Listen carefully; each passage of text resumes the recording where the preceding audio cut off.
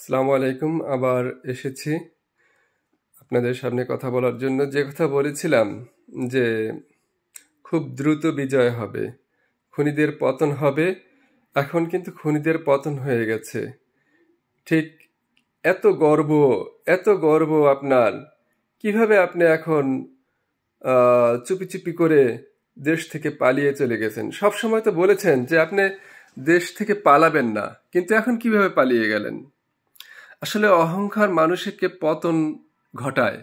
আপনি যেভাবে অহংকার করেছিলেন, আপনি যেভাবে অহংকার করে মানুষকে মানুষ মনে করেননি, আপনি যেভাবে অহংকার করেছেন, মানুষকে সব সময় তুচ্ছ তাচ্ছিল্য করেছেন, আপনার বিচার হবেই। আপনি যেখানেই যান, আপনাকে দেশে নিয়ে আসা হবে এবং আপনার বিচার হবে। আপনার ছাত্রদের যেভাবে রক্ত আপনি পিয়ে পিয়ে খেয়েছেন সেই রক্তের হিসাব আপনার দিতে হবে। আপনার এবং আপনার মন্ত্রিসভার যারা যারা আছেন, প্রত্যেককে এই রক্তের হিসাব দিতে হবে। তো দেশবাসীকে আজকে নতুন একটি রাষ্ট্র, নতুন একটি দিগন্তের যে উন্মোচন হয়েছে সে কারণে এই যে ছাত্ররা, ছোট ছোট বাচ্চা ছেলেরা, তরুণদেরকে অভিনন্দন। তোমরা তোমাদের এই পথ চলায় কখনোই থামবে না।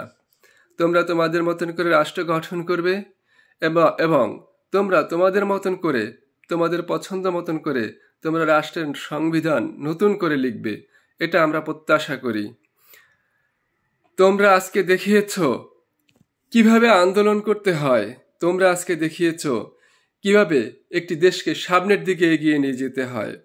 তোমরা দেখিয়েছ কীভাবে একটা রাষ্ট্রকে সামনের দিকে এগিয়ে নিয়ে যেতে হয়।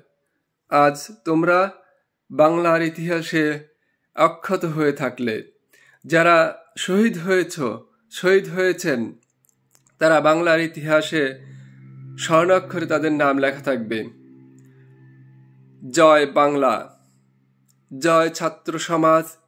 জয় বৈষম্য বৃদ্ধি ছাত্র সমাজ। জয় বাংলার মানুষ। জয় বাংলার মেহনতি মানুষ